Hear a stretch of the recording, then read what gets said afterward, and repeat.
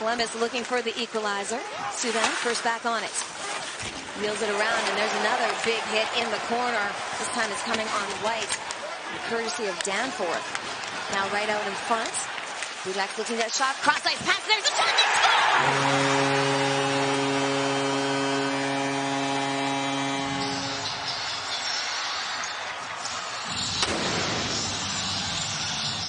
It starts with that physical play in the corner. You were just talking White goes down.